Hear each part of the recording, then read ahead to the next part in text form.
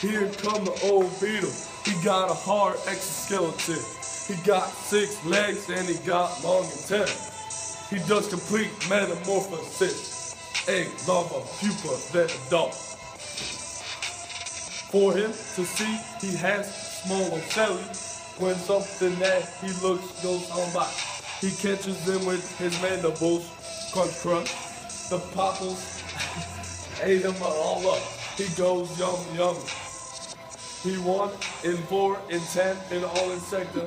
He got all his cockroach because they all bladder. To be a beetle is very hard work. Nothing can be easier than being a cellophile.